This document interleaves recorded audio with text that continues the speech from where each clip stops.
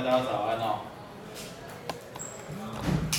呃，请把你的数学课本打开哦，我们该做的事要做好哦。来，快点，快点。好，那个有泽啊，那个笔电先收起来哈。我们上完课再跟你一样哈。呃，同学，你先翻到那个一百零四页的地方哦。我先花一点时间帮你复习一下我们上个礼拜哦谈到的概念哦。哎，同学抬头看我这边，我就要问你哦，你知道极值分两种吗？各位，极值有两种，分成哪两种？各位，这个叫什么？绝对极值跟什么相对极值？各位，绝对极值指的是什么东西？最大跟最小值。相对极值指的是什么？极大极小值。我上个礼拜有用一个很简单的比喻哦，同学，全校第一，这个是什么？这个就是绝对极值，就是你要跟所有的人比，这样你听懂这感觉吗？那同学，什么叫相对极值？就全班第一啊，你只要跟你周围的人来比，你是第一名就可以了，你听懂哦？然后同学，你一定要注意一件事情哦，全校第一是不是全班第一？对，所以同学请注意一下，最大值一定是极大值，这绝对是没有问题的。但是反过来讲就不一定对哦，极大值一定是最大值吗？哎，那可不一定吧。如果你是三零七班的第一名，请问你一定是三零几的第一名吗？我看通常不是这种情况吧？你知道我的意思吧？对？好，那我想哦，在课本的第一百零四页哦，这里有一题随堂练习哦。这个随堂练习是说，这是一个多项式的函数哦，它在这个 b 区间负四到六之间，它的函数图形长这个样子。然后他就问底下几个问题哦，他说，请问你它的最大、最小、极大跟极小分别是多少呢？还有，一起来把答案写上去哦。哎，然后你要不要告诉我它最大值是谁？哎，看着这个图回答我，这你应该会吧？最大值发生在哪一个点？哎，最大是指 global，就是 global 就是整体，啊，这个相对极值哦，这个极大对不对？它这种是 local，就是跟旁边的人比就好。所以请问你哦，最大值是谁？最大值发生在哪一个点？就这个 A 点啊，这个 A 点不是最高吗？对不对？所以请问你它的最大值是谁？最大值就是五啊，来，请把它写上去啊，快点快点哦，这很简单啊，高中数学教到这边，这应该是超简单的。然后同学问你最小值是多少？最小值你就看最低的那个点。请问你最小值出现在哪里？出现在这里，对不对？最小值是多少？最小值是负三，这样可以吗？来，把它写上去。最小值是负三。来，快点快点，请坐哈。然后再来喽。请问同学，极大值有谁？哎，极大值有谁？极大值通常不一定只有一个哦。哎，我有在问你啊，这个五是不是极大值？啊？五是不是极大值？对嘛，对不对？很简单。哎，五是极大值哦。然后一样是吴有泽，哎，还有谁也是极大值？看不出来吗？还有谁？哎，跟你周围的人来比就好啊。所以像这个谁？这一个点呢，你看它周围，我举一个小小的范围嘛，所以这个三是不是也是极大值？对啊，它只要跟旁边的人来比，这样你懂吗？我已经讲的很简单了，所以同学这个三也是极大值哦。啊，还有谁也是极大值？同学谁这个啊？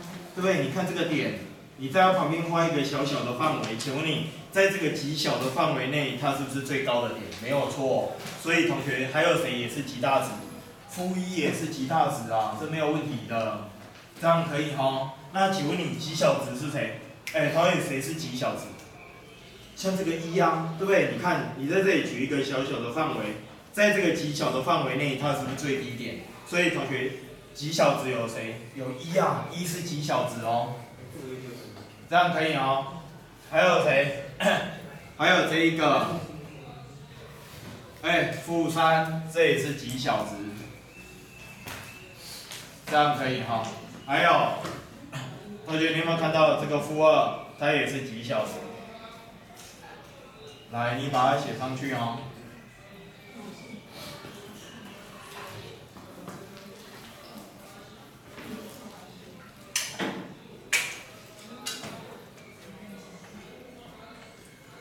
哎，然后这个地方哦，同学你会注意到一个很吊诡的现象。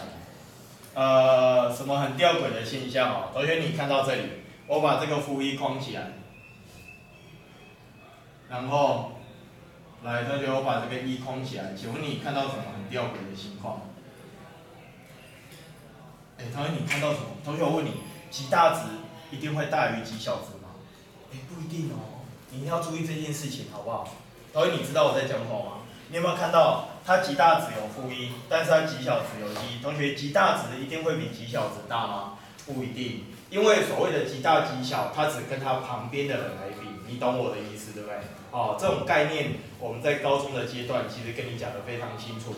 哎，这个是我们复习的部分哦，这样可以好，这是上个礼拜的部分。好，那今天这堂课我想要先从前面的一个观念讲起，请你翻到九十一页，九十一，来往前翻。我要先讲九十一页，这里有另外一个重要的概念要来跟同学说清楚哈。翻到九十一页，往前翻哦。来，这里我们要谈一个叫做递增与递减的概念哈。递增，来与递减的概念。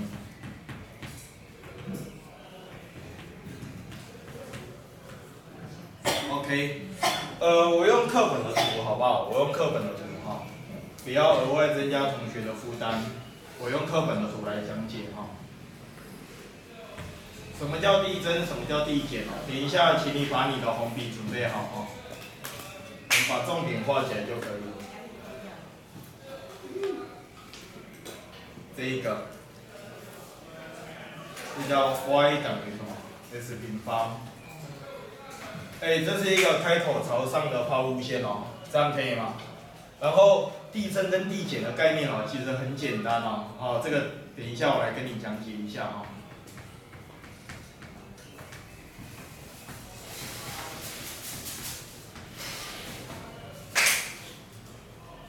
哎，我照着课本教哦。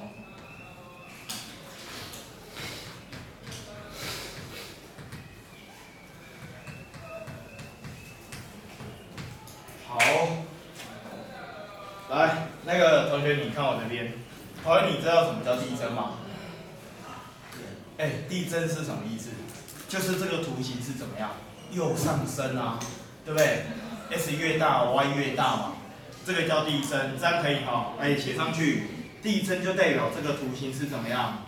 是一个右上升的图形。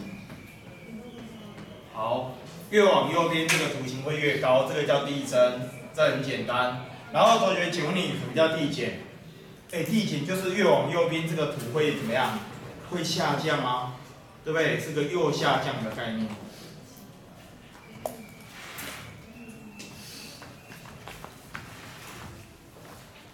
OK，你的课文里面哦，同学请看到 它里面有几个重点哦。同学，什么叫递增？递增很简单，他说当 x 的值越大的时候，所对应的 y 值也。随着增大，把这句话画起来，这个叫递增。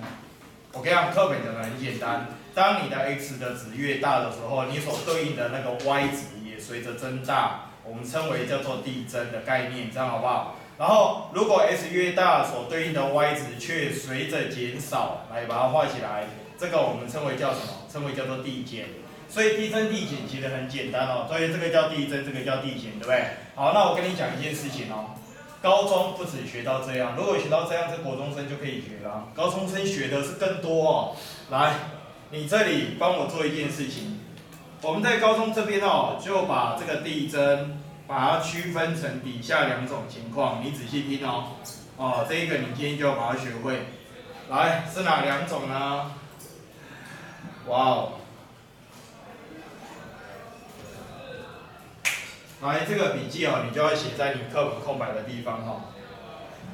我跟你讲哦，递增分成两种，第一种跟第二种。第一种叫什么递增？叫严格递增。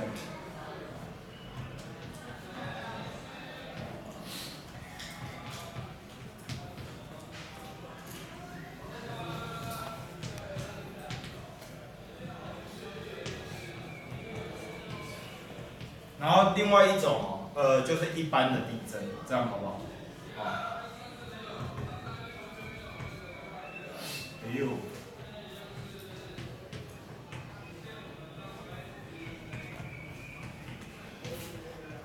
哎、我等你哦，把它写上去。我看地震分成两种哦，一种叫严格地震，一种叫一般的地震哈、哦。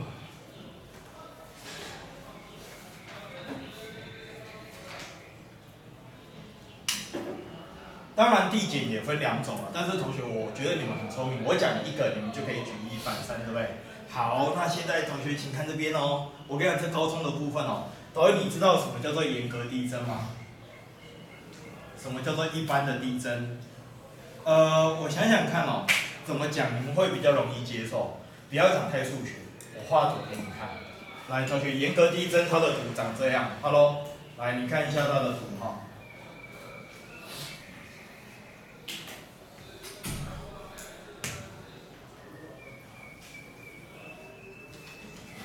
呃，严格递增主要的话，大概是类似这样的概念，这样，这样。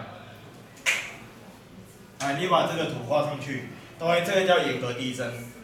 比如说这个叫 S one，这个叫 S one，然后这个叫什么？这叫 S two，好，来这里，这样，OK，好。呃，我们可能考虑哦，这一个函数哈，它在某一个区间里面哦，考虑它在某一个区间里面的行为哦，我们就是不要讲整个定义域啊，我们把它先缩在一个小小的范围里面哦。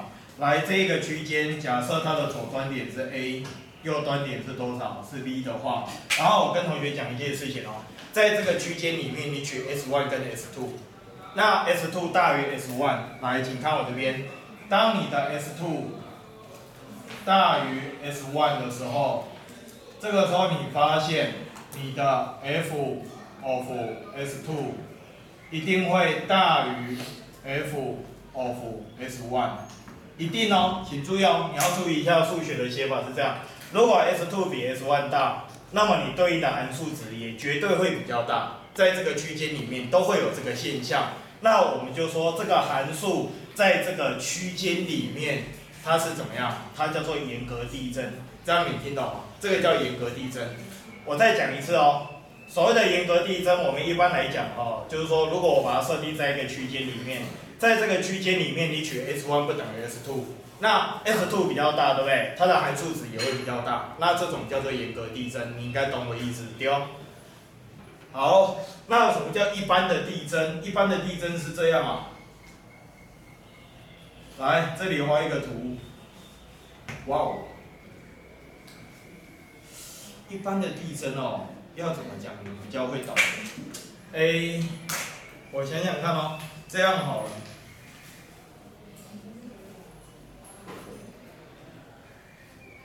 这样，我不知道你懂不懂我意思。来，你把这个图画上去，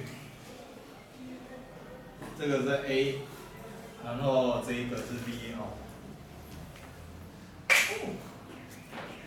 然后我 S one 假设取在这边，S one，好对上去在这里，OK，然后 S two 假设我取在这里的话，它对上去是在这个位置，好。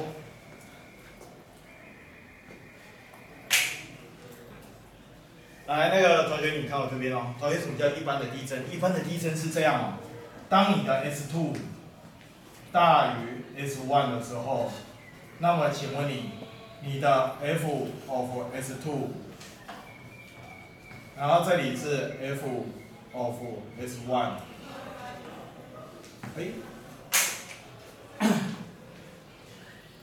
同学，你看我这里哦。请问你严格地震跟一般地震哪里不一样？同学，我跟你讲哦。上面这个是严格地震，下面这个是一般地震。一般地震这里要写什么？你知道吗？对，要写大于等于。同学，你这里要特别注意，这里是有等号的。来，你在你的课本里面哦，把这个有等号的家伙给我框起来。同学，你同意我的看法吗？这是什么意思？这个意思就是说，S two 大于 S one，但是你的 F of S two 会大于或等于 F of S one。简单来讲，一般的地震就是。它们可能在某一段会有类似这种水平的概念，它的图形会有水平的地方，它们在这个范围里面可能会打成平手，这种叫一般的地震，这样懂吗？我觉得高中生或许我们这样理解哦。再讲一次，递增分两种，这种叫严格递增，就是一直越来越大，好不好？就是说 S 越大，Y 就一定越大。但是这种叫一般的递增，S 越大，但是你的 Y 可能会被人家打成平手，这种叫一般的递增，这样懂不懂？懂哦？这样可不可以？好、大概有一个概念。那递减也是一样。好，那什么叫递增递减？我就先跟你谈到这边哦。九十一页下面那个框框，同学你可以把它框起来哈、那个定义的部分哦，你可以自己看一下，这样好不好？这样没有问题嘛？哈、好，递增讲完了，递减也讲完。递减就是 S 越大，它的 Y 反而越怎么样？越小。哦，你应该懂我意思。递增就是 S 越大，Y 越大；递减就是 S 越大，Y 怎么样？越小。递增就是右上升，递减就是右下降，就是这样子。好，反映在图形的结构上是这样。好。哦，好热哦！今天这什么鬼天气啊？我觉得夏天要到了。开冷气哦，我们有钱吗？我跟你讲，那个时候叫你们存钱，你们有存钱吗？在家应该也没有多少钱了吧？应该也没有多少钱了吧？哦，我要收班费。我跟你讲，现在收班费也没有用，因为他根本不会让你储值。所以我那时候就跟你们讲，你们要赶快趁可以储的时候多储一些。但是你现在吹也不好，因为你要再等稍微再热一点，因为之后会一直热下去，对不对？今天还勉强可以忍耐，哦，之后会真的变超热。